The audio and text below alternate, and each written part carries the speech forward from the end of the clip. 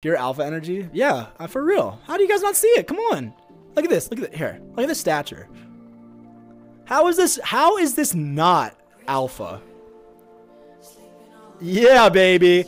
Dom top alpha in his environment.